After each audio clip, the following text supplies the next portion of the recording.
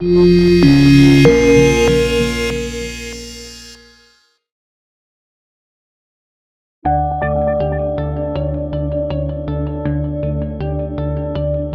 autorità, signore e signori, pregiatissimi premiati.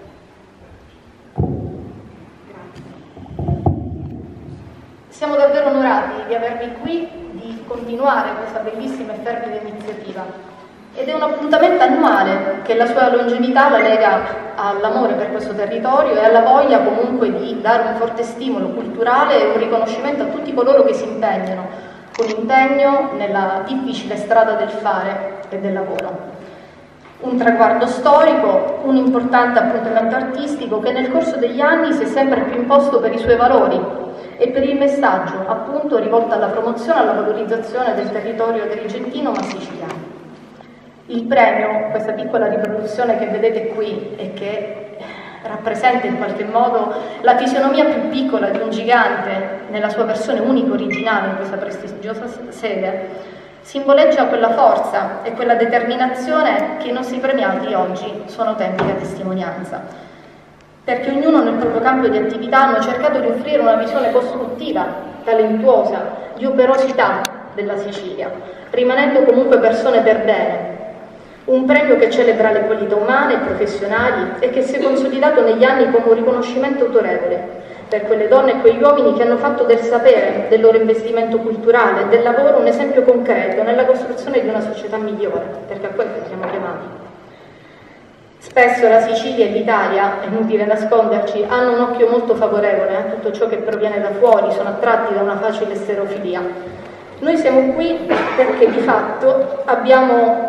lo spessore, l'apporto di professionisti la cui identità è nostrana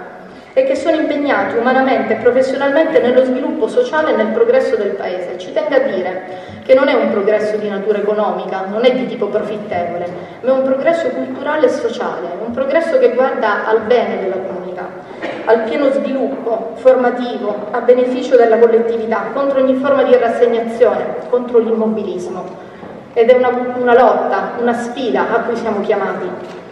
Il premio della Mone promuove il valore della dinamicità e promuove appunto la qualità del fare bene, perché crediamo sia giusto dare luce a coloro i quali si sono impegnati nelle diverse aree del sapere per un'innovazione sociale, culturale, professionale di alto profilo. Superfluo adesso ricordarvi il nome e l'elenco degli illustri insigniti dalle precedenti edizioni, ma basti ricordare che dalla fisica all'ingegneria, alla medicina, dall'industria all'agricoltura, dal commercio al turismo, all'arte, alla scienza, allo sport, beh, non c'è stata manifestazione del lavoro che il Telamone non abbia portato alla ribalta, al pubblico riconoscimento, nella valorizzazione di tutte le fisionomie professionali. Ma come nel nostro stile, uno stile che si è concretizzato e portato avanti negli anni, garbato e sobrio, che da sempre caratterizza il premio della Monet, non vogliamo fare di questo 42esimo compleanno un'occasione di celebrazione fine a se stessa. Consideriamo al contrario questo appuntamento un momento di riflessione per il futuro della città e del territorio. Agrigento, ahimè nella recente classifica sulla qualità della vita nelle province si è classificata centunesima, 98 per disagio sociale, 104 per affari e lavoro. La qualità della vita è difficile perché ha investito tutti i settori dell'economia, anche settori strategici che sono stati portati a un certo affanno. E i giovani sono soggetti ad un'emigrazione quasi forzata per un orizzonte lavorativo più o quantomeno rassicurante. E le parole degli agrigentini che sentiamo tutti i giorni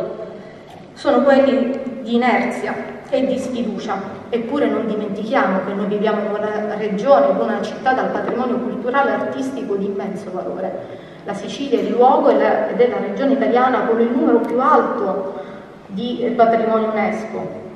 È vero, sono carenti i servizi grado di far uscire dall'isolamento geografico, a partire da quelle infrastrutturali e mi riferisco alle difficoltà che diversi premiati hanno avuto nel raggiungere la nostra città, indiscutibile, e sotto gli occhi di tutti e eh, in fase di creazione una progettualità culturale che vada ad elevare la qualità del territorio. Insomma, Agrigento sembra in qualche modo accogliere in maniera più forte i problemi sociali e il disagio tipici del meridione.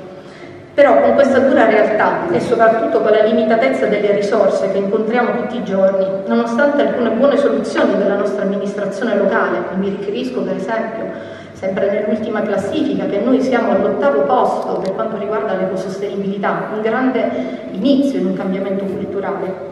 Siamo tutti chiamati a confrontarci e a svolgere, ciascuno nel rispettivo ambito, il proprio dovere professionale, culturale, ma soprattutto umano. Per questo, diciamo all'inizio, i premi Telamone non sono mai stati un'occasione per tuffarsi nella festa e dimenticare i problemi quotidiani, bensì un'occasione di valorizzazione dell'impegno umano e un momento istituzionale di confronto e anche di riflessione.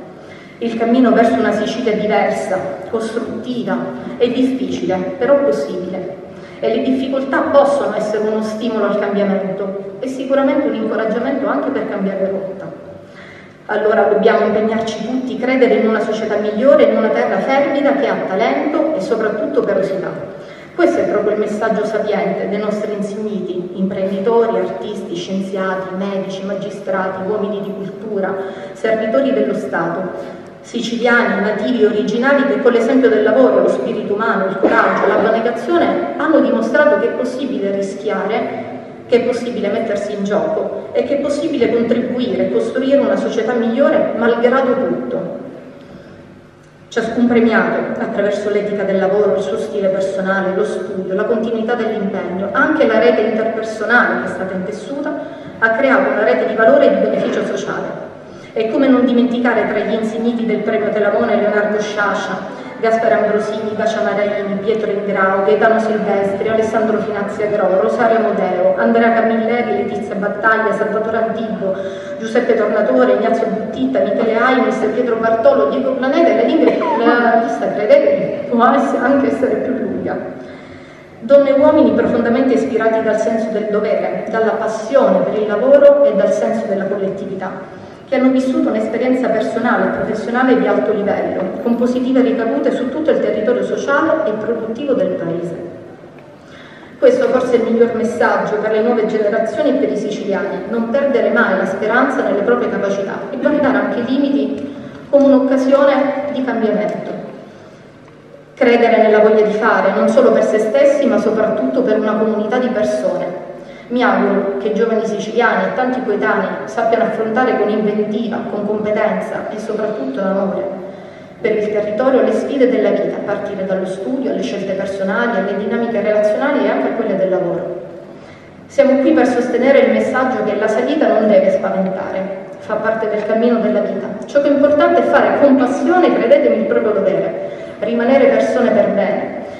vivere i propri obiettivi, perseguirli fino alla fine se animati dal buonsenso e da un'autentica motivazione. il successo personale è effimero se si trascorre nel senso di responsabilità e l'impegno sociale. E i nostri premiati sono testimonianza di questi valori e vi ringrazio. La notorietà, se nasce dal riconoscimento pubblico della propria comunità e dalla stima sincera degli altri, è reale ed è longevo, proprio come questo premio e il premio Telamone nella sua 42esima edizione intende rafforzare quel applauso pubblico a personalità a cui tutti noi dobbiamo sentirci grati per, lo, per l'esempio e lo spirito di operosità che nobilitano questa terra ma nobilitano anche l'intera Italia. E mi piace concludere questo pensiero e questo benvenuto a voi tutti con una piccolissima frase. È vero, la fortuna è sicuramente una buona alleata, preziosa direi, a volte anche rara, però come diceva Goethe, migliori, i migliori risultati, le migliori costruzioni si hanno con l'impegno e con la massima passione. Grazie a tutti voi per essere qui.